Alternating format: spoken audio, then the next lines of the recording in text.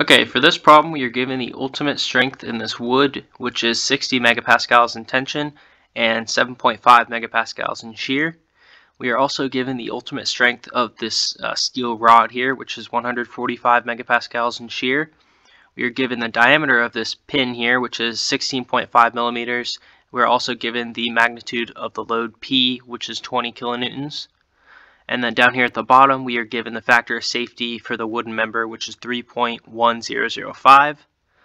And we are looking for the required value of B and the required value of C, which are not given to us. So I'm going to go ahead and write down the formulas we can use for this problem. So remember, we have a factor of safety formula, which is that the factor of safety is equal to the ultimate strength over the stress here. And so now we need to, um, we have this ultimate um, strength here, and then we have this factor of safety. So we just need to find the stress going through the wood here in this particular case. And so the stress going through the wood, remember the formula for this is P over A, and we're given P. Uh, we do not know the A, which is a cross-sectional area, so let's go ahead and uh, figure that out. So we have that P is equal to 20 kilonewtons, so I'm going to write that as 20,000 newtons. I'm just going to keep everything in newtons.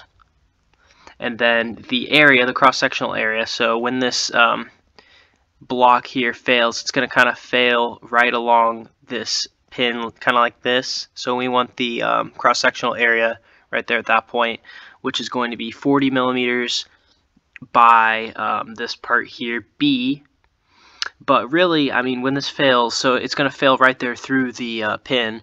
So when this does fail, I'm going to draw what this is going to look like.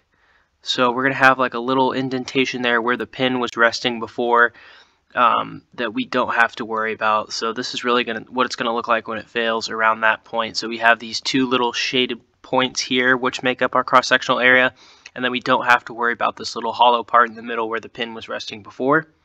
So if we want to find these two um, areas there, what we're going to do is we need to um, take the area that does not include the pin. So what we can do here is we know that this entire thing is 40 by uh, B. That's the uh, that's the uh, cross-sectional area. But we can subtract that diameter D from B in order to get the remaining area after the pin is taken out. So really what this is going to be is it's going to be 40 times B minus D, and D being the diameter of the pin, B being the entire length of that side there. And so when we plug in all of our values here, 20,000 newtons, 40, and then B was um, unknown. But we are given D, which is 16.5 millimeters. And so then we're just going to simply solve um, this right now uh, just simplify it a little bit. So we can divide the 20,000 divided by 40, get 500 here on top over b minus 16.5. And then we're just going to go ahead and plug this back into our original formula and use the ultimate strength of the wood in the factor safety in order to solve. So we know that the factor safety is equal to 3.1005 for the wood. We have the ultimate strength of the wood, which is 60 megapascals. So I'm just going to keep this in megapascals. And then we're going to plug in uh, what we found here on the bottom. So 500 over B minus 16.5. And then basically solving for this, I'm not going to show all the work, but we get that B is equal to 42.3 millimeters. And so that's solving for B. So now solving for C, we're going to have to use a little bit of a different formula. So we're going to have to look at the um, shearing for that part. So we have a formula called the double shear formula, which you should be familiar with by now. We have double shear is equal to P ultimate over 2A.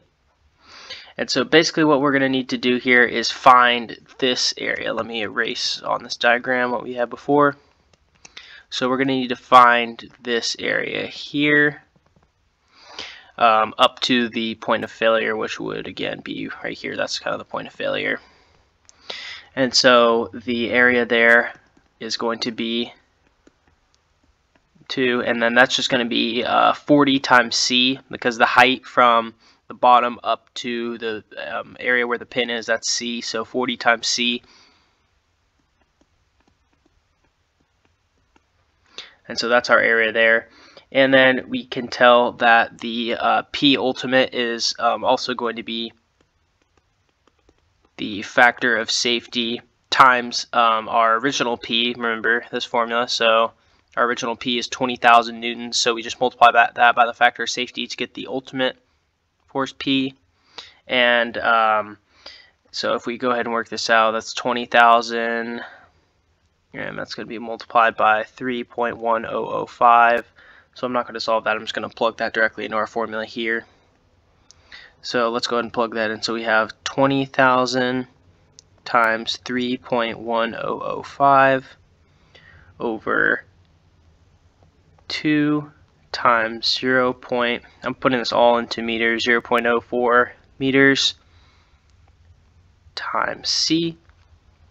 And then we know that our um, our um, ultimate strength of this, um, or our, that's going to be our shearing strength. Um, our ultimate shearing strength here in this case, they give it to us at the beginning of the problem, is 7.5 megapascals in shear, they tell us. So we know that um, we're going to set this whole thing here equal to 7.5 megapascals, but I'm going to go ahead and convert that to pascals, which is um, 1 pascal is equal to 1 newton over meter squared. So I'm just going to keep this in newtons and meters to uh, just for consistency purposes. So our 7.5 megapascals is equal to 7.5 times 10 to the 6 pascals. And so now we have everything in, oh, let me just write this down. A pascal is equal to a newton per meter squared, so remember that. So now we have everything in newtons and meters squared. The only unknown we have here is C, so basically we're just going to have to do some pretty simple algebra and solve for C. And when we do that, we get that C is equal to 103.4 millimeters. And so that's pretty much it for this problem. So just kind of recapping, we used the uh, factor of safety formula in order to find the um, the uh, dimension for B, and we did that by looking at the cross-sectional area and then we had to use the double shear formula to find how this reacts um, when it fails in shear. Um, and we did that using the ultimate strength of the wood in shear. And then we found C by doing that. And so that's going to be it for this problem.